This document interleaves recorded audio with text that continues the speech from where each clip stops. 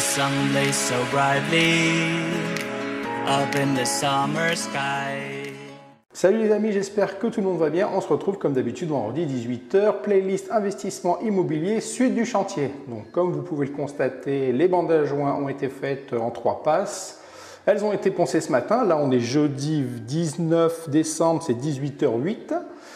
J'ai réussi à brancher tous les spots euh, et à raccorder tous les câbles dans le tableau électrique, donc euh, tout est bon. Donc on va faire un petit tour de chantier pour vous présenter tout ça et pour vous expliquer deux, trois petits trucs et vous présenter ces fameux spots que je vous parlais la dernière fois, euh, qui sont en trois positions et qui sont plutôt pas mal et pas trop chers. Alors, voilà comment ça se présente. Donc, toutes les bandes à joints ont été réalisées en trois passes et tout a été poncé.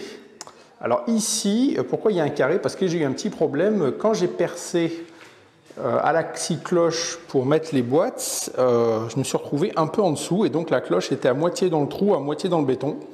Donc euh, du coup ça a complètement merdé. Donc ce matin du coup j'ai redécoupé un morceau que j'ai changé pour pouvoir encastrer les prises comme il faut. Parce que là je rappelle qu'ici on est support télé. Donc du coup j'ai refait ça ce matin, il faudra refaire les bandes à joints euh, demain matin, deux passes avant de les poncer. Donc là j'ai mis de la bande euh, fibrée. Donc voilà pour la petite anecdote. Sinon le reste, eh ben, ma foi, tout va bien. Euh, on tient le bon bout, ça avance plutôt pas mal. Cette semaine j'étais là quasiment tous les jours. Donc c'est pour ça que j'ai pu bien avancer correctement.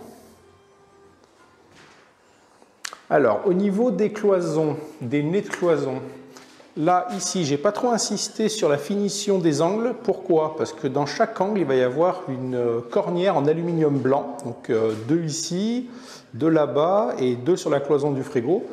Parce que euh, avec le temps, à force de passer, vu que ça va être une location, ça finit toujours par s'effriter un petit peu. Donc pour éviter ce problème, voilà, je ne me suis pas pris la tête à poncer nickel chrome. on mettra une cornière en aluminium. Donc tous les interrupteurs sont mis. Alors les interrupteurs, là c'est pareil, euh, ce n'est pas les interrupteurs définitifs. C'est des premiers prix de chez Casto que j'utilise euh, pour interrupteurs de chantier. Voilà, comme ça, s'ils prennent la poussière, euh, la peinture, on s'en fout. De toute façon, après, on les enlève. Au niveau de la cuisine, bah, tout est installé aussi, tout est prêt. Le tableau électrique, bah, tout a été câblé. Donc il ne reste plus qu'à mettre les petites étiquettes pour signaler quel disjoncteur sert à quoi. Il me reste à remettre donc le truc là-haut, à raccorder ici dans les boîtes de dérivation, ça c'est prise électrique salon et prise électrique cuisine salle de bain. Donc là je rappelle qu'ici on est dans le placard. Ensuite, dans la salle de bain, alors dans la salle de bain pareil j'ai mis les spots parce que la salle de bain j'ai poncé bah, que le plafond. Donc là c'est des spots spécifiques, hein. c'est des spots spéciales salle de bain avec un transfo, euh, là vous voyez il y a le transfo qui transforme euh, le 240 en 12 ou 24, je ne sais plus. Et donc c'est des spots IP65 et une fois que vous les avez euh, clipsés au plafond, ils sont donc étanches. Donc c'est spécial salle de bain. Pour ça, on en a un qui va être là, donc euh, au-dessus du futur chiotte. On en a un ici qui est centré par rapport euh, au bac à douche qui va être posé donc lundi. Et là, pareil, là on en a deux sur les au-dessus du plan vasque. Et ici, donc, c'est raccordé avec là, parce que quand vous allez allumer la salle de bain, ça va notamment éclairer aussi, ici, il y aura deux projecteurs qui vont éclairer le miroir qui fera quasiment toute la longueur là. Voilà. Donc là, pareil, interrupteur euh, basique euh, standard euh, pour premier prix, histoire de faire le chantier. Alors, au niveau des spots, alors c'est ça que je voulais vous montrer. Les spots que j'ai mis dans le salon, ils ont trois positions. Donc là, on est euh, éclairage à fond. Donc là, je vais éteindre et rallumer et, vous allez voir. Là, ça éclaire un peu moins. Et si on recommence une troisième fois, là, c'est tamisé. Ce qui fait que pour le matin, c'est pas mal. Donc, ils ont trois positions comme ça. Et il n'y a pas de, il y a aucun système électronique, ça se passe tout dans l'ampoule. Là, vous voyez, il y a le fil, c'est raccordé là-dedans. Là-dedans, il y a un sucre euh, connexion rapide. Et ensuite, vous avez l'ampoule. Et l'ampoule se vend donc au détail. Ça, vous n'êtes pas obligé de racheter tout le spot. Donc, j'avais mis ça aussi pareil dans la cuisine euh, parce que c'est vendu par lot de 10. Donc, je vous ai gardé la boîte pour vous montrer. Là, ça se trouve à Leroy Merlin.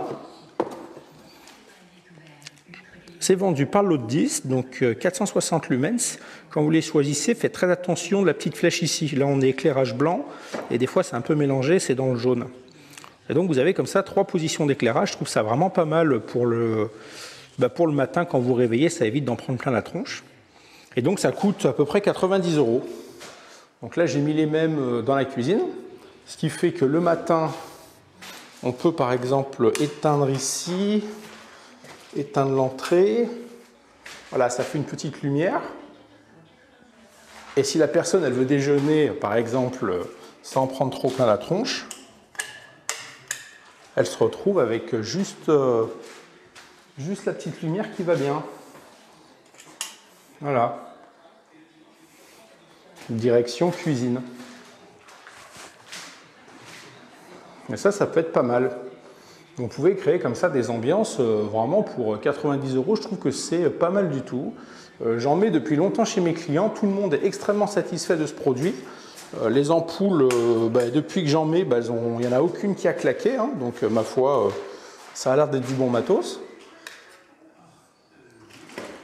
Donc, si jamais ça vous intéresse, n'hésitez pas. Ça se trouve à Leroy Merlin dans le rayon luminaire.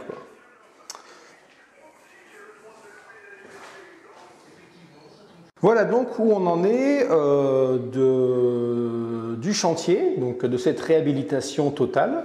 Donc prochaine vidéo, on en sera où? Donc demain, vendredi, je vais passer la sous-couche. Lundi, première couche de peinture. Mardi, deuxième couche de peinture et donc terminé. Ensuite, eh ben, je vais remettre les spots dans les trous. Euh, le plombier vient lundi pour installer le bac à douche et commencer à faire euh, les sorties ici pour la cuisine. donc normalement, la prochaine vidéo, tout sera peint. Et peut-être que même j'aurais commencé à monter les meubles de cuisine pour prendre de l'avance parce que le carrelage que j'ai commandé, euh, enfin la faïence pour la salle de bain, ça n'arrive pas avant début janvier, ainsi que bah, les plaintes euh, du salon. Euh, la porte blindée, ça arrive le 30 janvier. Et en ce qui concerne le lit qui va descendre du mur sur des vérins, c'est pas avant le 3 février. Donc vous voyez, on va prendre du retard encore. Mais bon, tant pis, c'est pas grave. De toute façon, c'est le premier. Donc, quand c'est le premier, on ne sait pas trop où on va. Euh, donc, c'est un peu normal que des fois, ça merde un peu. Ça sera mieux quand on fera le prochain.